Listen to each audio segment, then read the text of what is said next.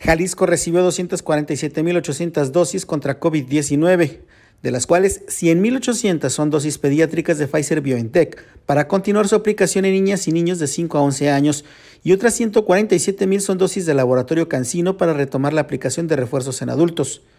El secretario de Salud, Fernando Petersen Aranguren, dijo que a partir del próximo martes habrá jornadas abiertas en el área metropolitana de Guadalajara. Contaremos con el CODE Paradero y con nueve centros de salud, entre los que se podrá elegir en seis de ellos acudir con previa cita y en otros tres sin cita.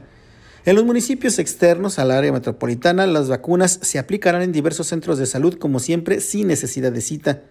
Con el arribo de esta madrugada de domingo, en Jalisco se han recibido 67 entregas de vacunas contra COVID-19 de diferentes farmacéuticas por parte del gobierno federal. Para Noticiel.mx, Juan Carlos Huerta Vázquez.